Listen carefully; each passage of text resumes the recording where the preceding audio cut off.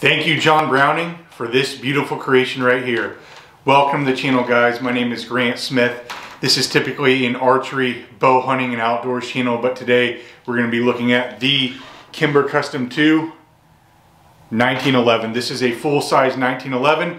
And before we go any further, a disclaimer, I am by no means a pistol expert or professional, okay? I have a lot to learn myself, but there's some cool things that I like about this firearm and I want to share them with you guys. So there is a reason why I shoot in archery tournaments, not pistol tournaments. Let's dig in.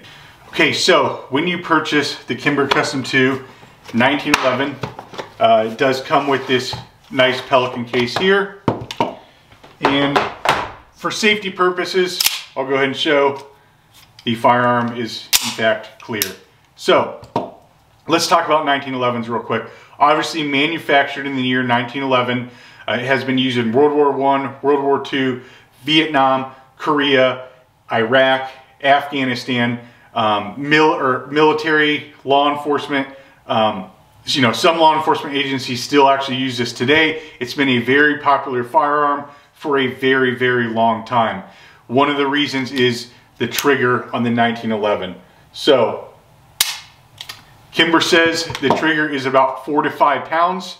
Um, personally, shooting this firearm, I love it. I absolutely love the trigger. Um, to me, it's like heaven. It's something that as someone who's definitely not a professional with pistols, um, I can be very effective with this firearm. Um, and a lot of that is just, well, one's due to the ergonomics, but also I just, I love the trigger on it. I think it's great. At 30 yards, as you can see here,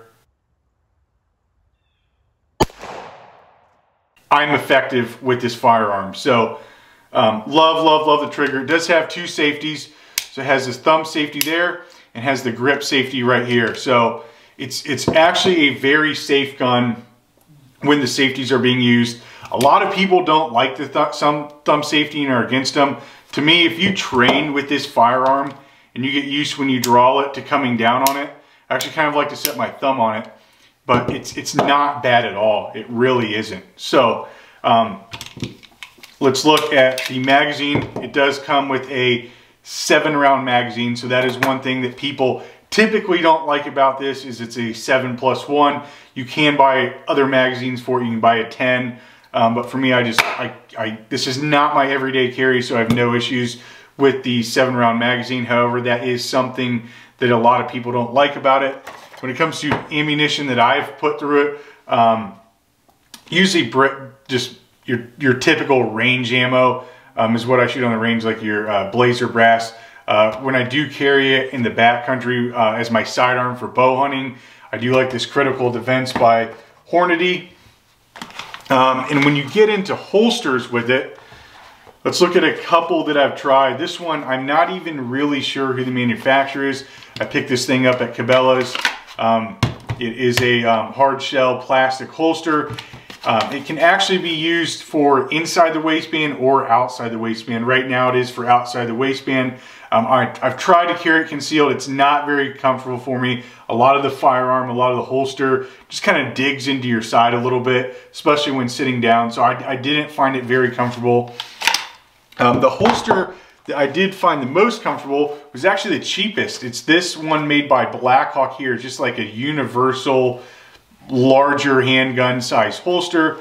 Um, and it is extremely comfortable. It's, it's cloth, so it's very comfortable against the skin. Um, it, it, covers up the firearm pretty well, so nothing really digs into you. However, the main major downfall I'll show you right here is it doesn't hold the pistol well at all as you can see, it's just cloth. So there's, there's nothing holding it. And that's how this actually happened. As you can see right there. Um, when I first got it, I was trying it out. Um, I was practicing drawing from it. Obviously, uh, I was being safe. It was not loaded, but it did drop, hit the floor, and that I do have to get a replacement piece there. Um, so not a real big fan of this holster, even though it is comfortable. Um, it's I, I, I want the firearm to be secured in there. Um, this one right here, this is interesting. This is pretty expensive. This was, I believe, 100, 120. This is the Urban Carry G2. Um, this made by Urban Carry. This is a deep concealment holster. Um, it is designed so it basically sits down inside your pants. Um, throw it in there.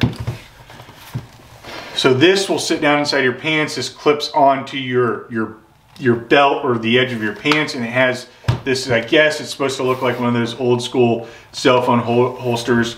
Um, lot of negative reviews about this, a lot of positive reviews about this. So I decided to give it a good try. I tried this for about two months. Um, my thoughts are it's okay. I did everything they asked me to. I, I put conditioner on the leather. I wore baggier pants. Um, there is no getting around it. This thing prints when you're sitting down with the full-size firearm. It, it's pressed up against your leg, your pants. It doesn't matter how big, baggy your pants are. When you're sitting down, at least in my experiences with a full-size firearm, this is going to print. So it's kind of a cool option. Um, if you're looking for something really deep concealment, I don't think it's it's very practical for every day. I, I, think it, it looks like you have a firearm on you, especially when you're sitting down. Um, it, it's pretty heavy to slap it against the thigh there. So it, it, I'm sure this works better. I don't want to sit here and rag on Urban Carry. I'm sure it works better with smaller firearms. Okay, so demonstrating quickly with your Urban Carry G2. I don't know how well you guys can see it, but it definitely prints on the pants there. These pants are actually two size larger than what I normally wear.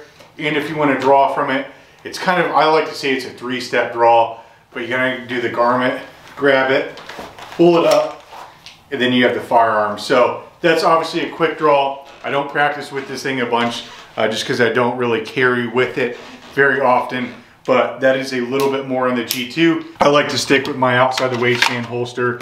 Um, if this is something you are looking to uh, carry concealed. The winter's probably a good time for it.